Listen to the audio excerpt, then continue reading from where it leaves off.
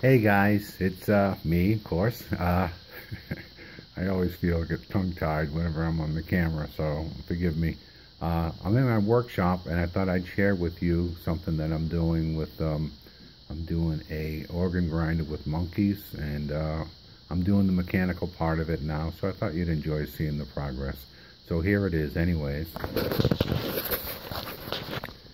This is the gear mechanism that I had worked out for the end of it and I got it on a drill just so we can kind of see how it works. So that's going to be connected to the to the propeller and then that's going to give more it'll be it go slower and also it'll give torque to it. And then here's the monkey kind of a design. So this kind of shows the action and I might have two monkeys with the organ grinder. I haven't worked out all those details yet, but anyways, I thought you'd like the action of the monkey. So, anyways, it should uh, be interesting. We'll see if I run into any other mechanical problems in the course of doing it, but this is what I got so far.